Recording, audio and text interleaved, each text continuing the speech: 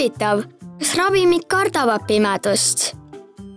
naljakas, aga ära unusta, et ravimeid tuleb alati hoida jahedas kuivas kohas vastavalt pakendil märgitud säilitamisjuhistele.